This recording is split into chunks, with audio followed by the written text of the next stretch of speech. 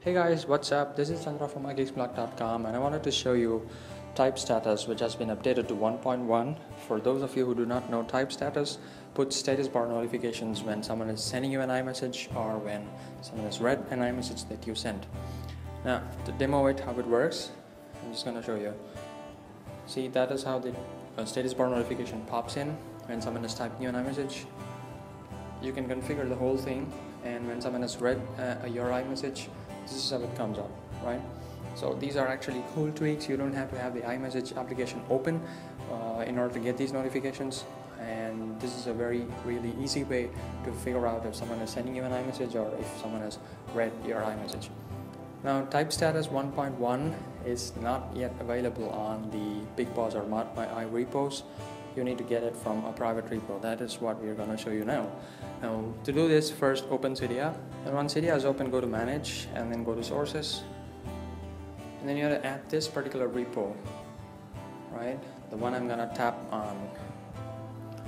Right that repo is cydia.hbang.ws uh, we've given the link for that repo down in the video description too. You can check that out.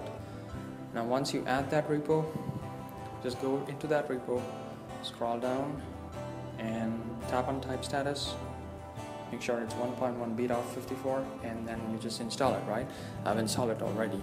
Now after installing it you can configure it through settings. Go to settings and then TypeStatus. And once in it you can actually configure a lot of stuff. You can make sure that TypeStatus doesn't trigger the notification when you are actually inside the messages application by hide inside messages. And then you can of course change how it works. This is how it works and then you can actually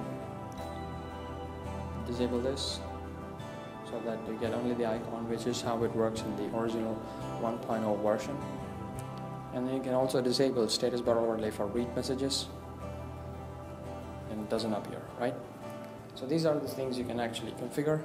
And it's a free tweak. It. When it's free. It uh, works with biteSMS also. And uh, the developer is actually planning to bring a WhatsApp compatible version too but that's going to be a paid tweak. Something like $1.99 so anyway this is the tweak. I guess it'll be helpful for you if you are using a lot of iMessages. Thank you